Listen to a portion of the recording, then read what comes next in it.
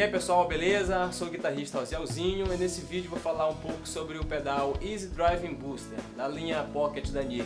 O Easy Drive é um overdrive bem leve que, regulado com pouco ganho, praticamente nem gera distorção. Ele funciona como um booster levemente saturado é ideal para você dar ganho no canal de distorção do seu amplificador. Eu vou fazer algumas demonstrações de algumas regulagens que eu acho bem interessante. Pô, não deixe de assistir os vídeos de demonstração que estão no canal da NIG, beleza?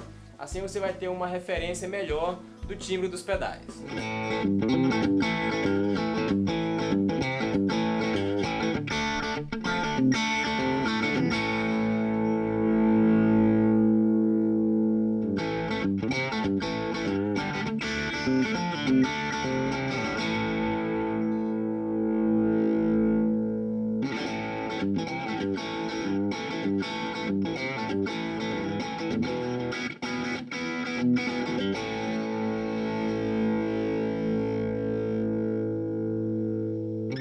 Thank